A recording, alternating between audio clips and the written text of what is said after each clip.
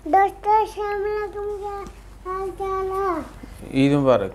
ईद मुबारक। चलो इब्राहिम आप भी। अस्सलाम वालेकुम दोस्तों क्या हाल चाल? ईद मुबारक। अस्सलाम दोस्तों उम्मीद है आप सब लोग खैर होंगे। एक दफ़ा फिर आप सबको ईद मुबारक। बात करेंगे लॉकडाउन एयरपोर्ट और वीज़ों के मतलब फ़्लाइट ऑपरेशन के मतलब वीज़ों के मतलब ईसा बताओ दोस्तों।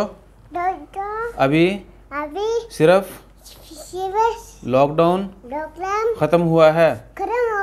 है कि खुले गले पर आके बैठे हैं।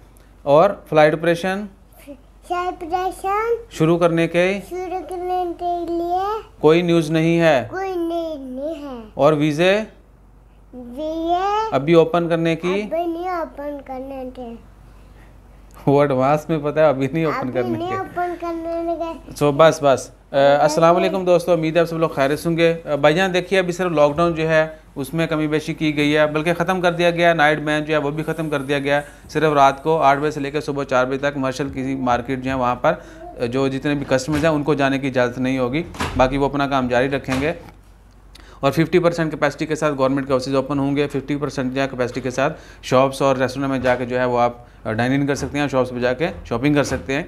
इसके अलावा नाइट सॉरी फ़्लाइट ऑपरेशन जो है वो कब स्टार्ट होगा? अभी तक कोई डेट नहीं दी गई और ना ही अभी तक वीज़ा ओपनिंग की कोई डेट दी गई है। यानी ये नहीं है कि पंद्रह तारीख से लॉकडाउन खत्म हो गया तो बाकी तमाम मामला जो है नॉर्मल हो जाएँगे। अभी तक फ़्लाइट ऑपरेशन कब स्टार्ट होगा, ओमान आने वाली फ़्लाइट्स का और ओमान के नए वीज़े कब स्टार्ट होंगे, अभी तक कोई डेट नहीं दी गई।